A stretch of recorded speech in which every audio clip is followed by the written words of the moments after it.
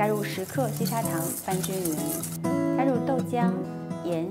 香草精，最后加入沙拉油拌匀，把面粉加进来搅拌均匀。将拌好的面糊分成三份，五十克的原味面糊，五十克加入栀子绿，一百克加入红曲粉拌匀。将蛋白倒入钢盆当中，打出大略的粗泡，加入细砂糖，这样就干净发泡。三十三、三十三、八十五三份，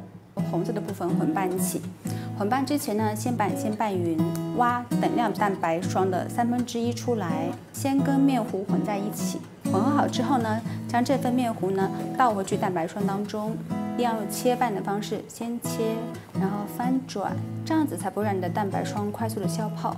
用同样的方式把原味面糊跟绿色面糊也拌合在一起，用小汤匙挖入红色面糊杯子的一半即可，撒入几颗小蓝莓丁，再抹上一层原味面糊，再抹上一层绿色面糊，八分满即可。预热好一百二十度的烤箱当中烘烤三十分钟。